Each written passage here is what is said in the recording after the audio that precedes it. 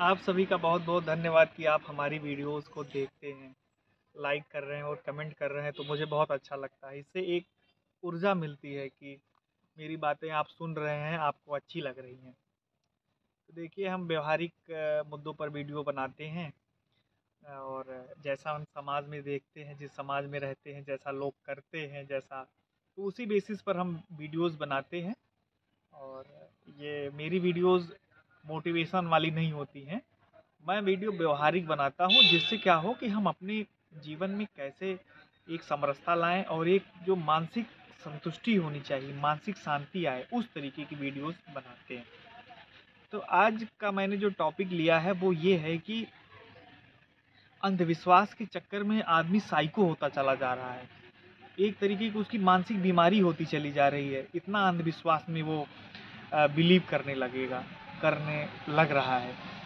उदाहरण के तौर पर आप ये समझो कि बहुत लोगों के में होता है, जैसे मैं खुद को ले लूँ कि अगर हम किसी चीज़ को लेकर के अंधविश्वास करने लगे तो उससे होगा क्या कि जो हमारी मानसिक स्थिति है धीरे धीरे निगेटिव की तरफ़ बढ़ती चली जाती है।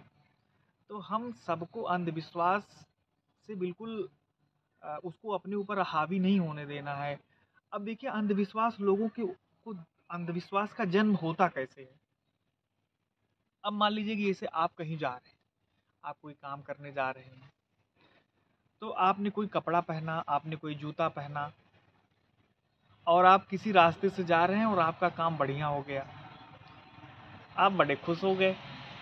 फिर किसी काम के लिए जा रहे हैं, आपने वही सोचोगे कि यार वही कपड़ा मैं पहनूं, उसी रास्ते से जाऊँ और फिर लगता है फिर आपका काम अच्छा हो गया।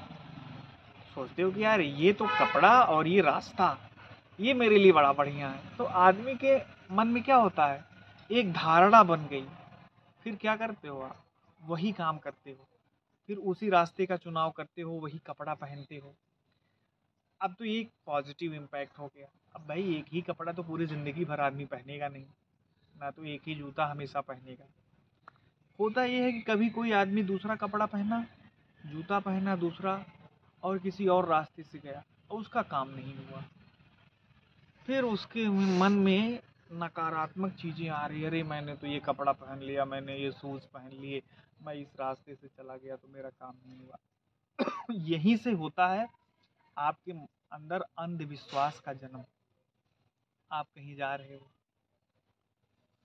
रास्ते में जो है किसी को देख लिए आपका काम बड़ गड़बड़ हो गया। मैंने तो मैं निकल रहा था, मेरे सामने ये आ गया, इसलिए मेरा काम गड़बड़ हो गया। कभी बिल्ली ने रास्ता काट दिया, कभी किसी ने रास्ता काट दिया। तो ये मन में इतनी भ्रांतियाँ हैं, हो सकता हो इसमें सच्चाई हो।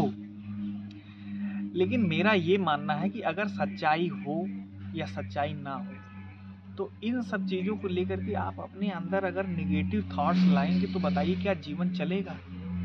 आप इन्हीं सब चीज़ों में परेशान रहेंगे। बहुत लोग इन सब चीज़ों में उलझे हुए हैं।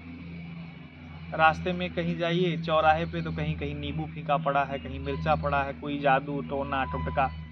इतना लोग कर रहे हैं, अगर इसी तरीके से हमारा समाज चलेगा तो आप ये सोचो क्या होने वाला है। आप किस दिशा में जा रहे हैं? ये सब चीज़ें मुझे लगता है कि सही नहीं है।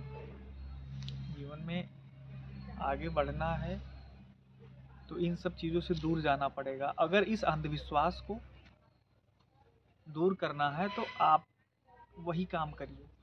उसी काम को बार बार करिए। अगर किसी रास्ते में कोई कपड़ा से हो रहा है, अगर आपके मन में शक आ गया है तो वही कपड़ा पहनिए। उसी रास्ते से जाइए, वही जूते पहनिए।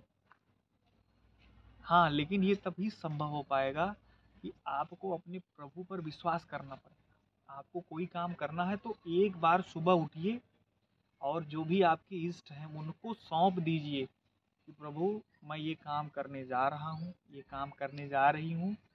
बस हमने आपको सौंप दिया है। उनको स्मरण करके आप निकल जाइए। आपके रास्ते में कौन मिल रहा है? आप किस रास्ते से जा रहे हैं? आप कौन सा कपड़ा पहन के जा रहे हैं? आपका सब काम अच्छा होगा। और नहीं भी अच्छा होगा तो आप ये समझो कि आपके लिए था ही नहीं। कम से कम आप अंधविश्वास के चक्कर में साइको नहीं होंगे। इतनी चीज़ का आपको ध्यान रखना है। तो आप इन सब चीज़ों पे तो विश्वास कर ले रहे हो, लेकिन उस प्रभु पर आपको अपने इष्ट पर भरोसा नहीं है। तो आप अपने इष्ट के ऊपर एक बार भरोसा कर लीजिए, कोई भी काम की शुरुआत करनी है, उनके ऊपर भरोसा करके, उनके ऊपर सौंप करके। आप अपने काम की शुरुआत करिए, कुछ भी करिए, जो भी होगा उसका परिणाम। अच्छा हो, बुरा हो तो उसको कभी बुरा मत मानिए। उसको बस ये सोचिए कि ये जो हुआ है, ये हमारे लिए बहुत ही अच्छा है। बस। तो इस तरीके से आप धार्मिक भी हो गए और भौतिकता में भी जुड़े रह गए। दोनों को बैलेंस लेकर के चलना है। लेकिन आप किसी एक के हो जाएँगे। तो फिर क्या है कि थोड़ी सी फिर यही दिक्कत होगी। तो हमेशा एक को मान करके, अपने इष्ट के ऊपर सब कुछ सौंप करके सब काम करिए, आपका मंगल ही होगा। तो आज के ब्लॉग में सिर्फ़ इतना ही। तब तक हमको दीजिए इजाज़त। मिलते हैं नेक्स्ट ब्लॉग में। तब तक के लिए धन्यवाद। नमस्कार।